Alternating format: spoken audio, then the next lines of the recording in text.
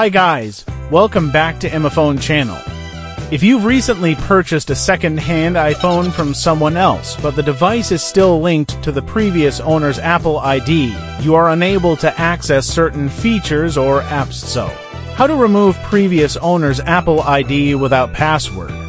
In this section, we'll walk you through the most effective methods for removing an Apple ID when you don't have the password. This video will show you three easy ways to remove previous Apple ID permanently. Even without knowing the password of Apple ID, let's get started. Way 1. Remove previous owner's Apple ID via settings. Let me show you.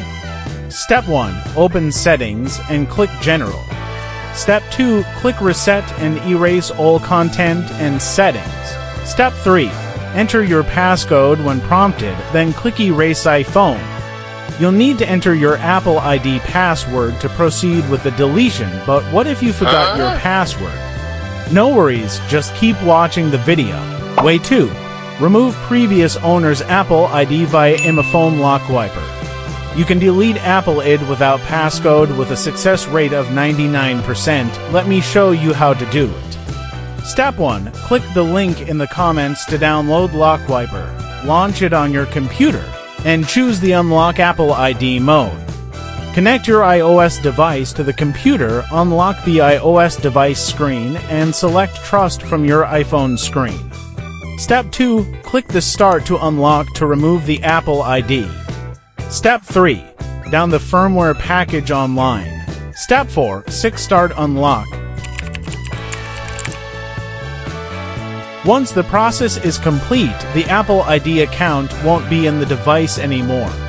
And now the previous Apple ID account has been deadled. Now move to Setting. You can reset the Apple ID and the password now. This software can help you bypass the iPhone passcode, so you don't have to worry about forgetting your password. It can also reset your iPhone and bypass MDM. Click below to download LockWiper. Way 3 delete your Apple ID via iTunes, you also can reset your iPhone via iTunes. However, this method only has a success rate of 55%. Step 1 Connect your iPhone to the PC and then put your device into recovery mode. Instantly click and release the volume up key and then the volume down key. Press and hold the side button until you see the this screen. Then open iTunes and restore your iPhone.